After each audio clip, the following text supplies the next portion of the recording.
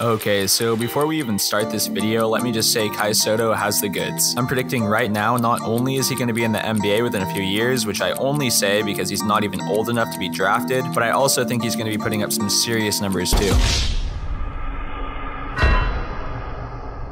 Okay, pause.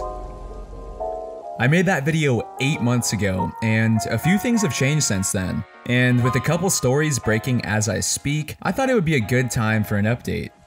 It was my strong opinion that when I made that first video, Kai was one of the most talented 17 year olds in the class of 2020, especially for a kid who was 7 foot 2. And it was almost certain the extremely talented Filipino was going to the NBA, no questions asked.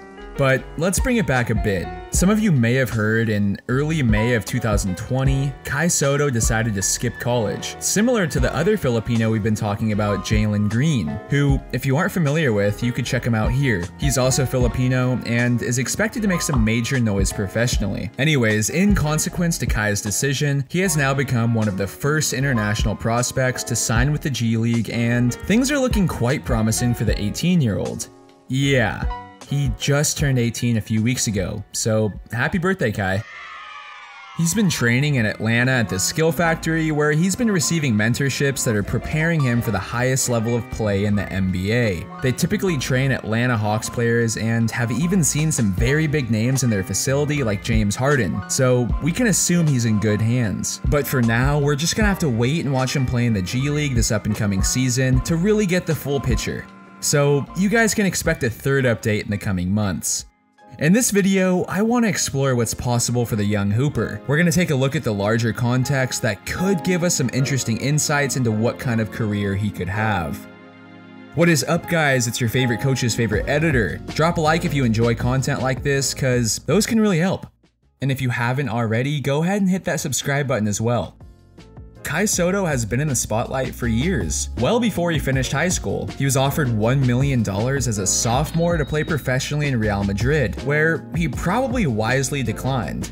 He would lead the Philippines national team shortly thereafter. Needless to say, he dominated in high school, was named the number one player in the country two years in a row, and consistently averaged nearly 30 points a game and shot at roughly 60% from the field.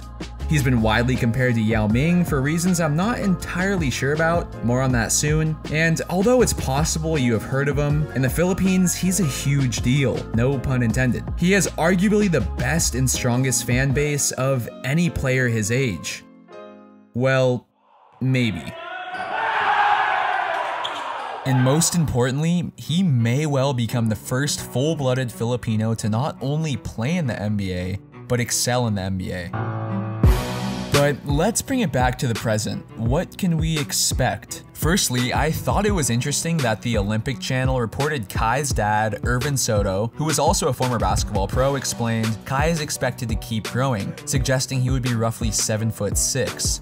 Although I think I might be a little more excited about that than Kai. I love to be seven three not over seven five. And we have seen this before. Giannis Antetokounmpo was drafted at six foot nine and is now pushing seven feet. Just an interesting side note to keep in mind, he's still so young. In my opinion, for his size, Kai Sotto moves surprisingly well. He has good post moves, a great drop step, and ability a spin counter. He's left-handed but reportedly ambidextrous, and his outside stroke looks promising. He clearly needs to add strength, but again, he's only 18 and that should happen with time. I said it before and I'll say it again, he doesn't play like Yao Ming. Rather, he reminds me of a young Robert Swift. And considering he has a good head on his shoulders, he could develop into the player that Robert Swift was supposed to be. My favorite thing about Kai Sotto is his attitude and the appreciation he has for the people that have supported him throughout his career. Kai said himself he's ready to make basketball a full-time pursuit, and he's ready to continue to develop for the next two years of his life to actualize his dream of joining the NBA. And if you didn't think he had enough to work for by now, it's also quite obvious by his social media presence, he's big on making his country proud. He loves his fans, he's a humbled hard worker, as well as a very smart and talented athlete. If anyone was gonna pull it off, it might just be him. I mentioned in the previous video his dad wanted him to play in college, Gonzaga was showing major interest, and briefly it appeared he may end up there. Obviously, now this isn't the case. He's a part of a small group pioneering a very different path.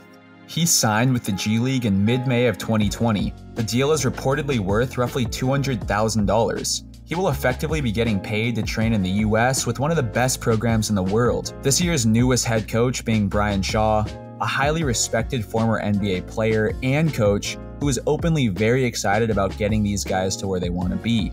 But as we explored in the previous video about Jalen Green, although he is certainly making more money this way than the traditional route in the NCAA, in the long term, there is risk with his NBA stock value depreciating, playing against such elite and determined talent. However, two standout coaches of the Philippines and PBA champions, Norman Black and Yeng Guiao, strongly agree he is making the right decision. They would then add that two major pros of playing in the G League is the elite development process. The training here in the States is different because they really like focused and my trainer really dedicated themselves to help me get better as a player. And, quote, you are guaranteed that every single game, you're going to have NBA scouts in the gym watching you play and develop.